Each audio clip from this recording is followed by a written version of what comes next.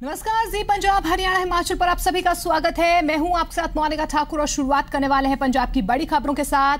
पंजाब के स्वास्थ्य मंत्री ब्रह्म मोहिंद्रा ने प्रदेश के नशा मुक्ति केंद्रों में हुई अनियमितताओं की जाँच के आदेश दे दिए हैं। स्वास्थ्य मंत्री ब्रह्म मोहिंद्रा ने स्वास्थ्य सचिव को एक हफ़्ते के भीतर मामले में रिपोर्ट सौंपने के आदेश दिए हैं।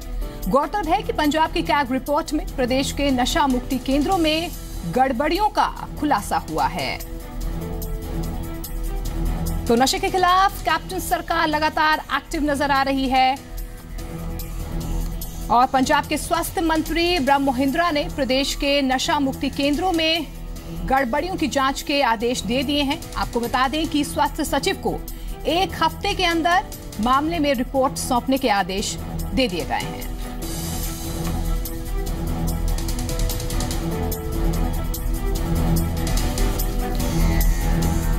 तो नशे के खिलाफ लगातार कैप्टन सरकार एक्टिव नज़र आ रही है और इस बीच अब जाँच के आदेश दे दिए गए हैं। आपको बता दें कि कैक रिपोर्ट में नशा मुक्ति केंद्रों में अनियमितताओं का खुलासा हुआ है, जिसके बाद अब स्वास्थ्य मंत्री ने स्वास्थ्य सचिव को एक हफ़्ते के अंदर मामले में रिपोर्ट सौंपने के आदेश दे दिए हैं।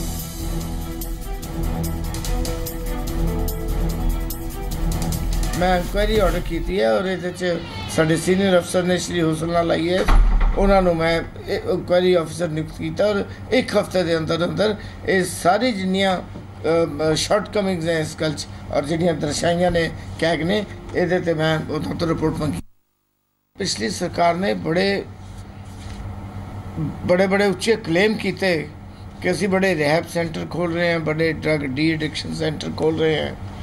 ਪਰ ਬੜੀ ਹੈਰਾਨੀ ਦੀ ਗੱਲ ਹੈ ਕਿ ਕੈਗ ਦੀ ਰਿਪੋਰਟ ਦੇ ਵਿੱਚ ਇਹਨਾਂ ਡਰਗ ਡੀ ਐਡਿਕਸ਼ਨ ਸੈਂਟਰਾਂ ਦੇ 3-3 4 ਸਾਲ ਤੋਂ 4-4 ਸਾਲ ਤੋਂ ਲਾਇਸੈਂਸ ਜਿਹੜੇ ਸਰਕਾਰ ਦਿੰਦੀ ਆ, ਉਹੀ ਨਹੀਂ ਰਿਨਿਊ ਕੀਤੇ ਹੋਏ।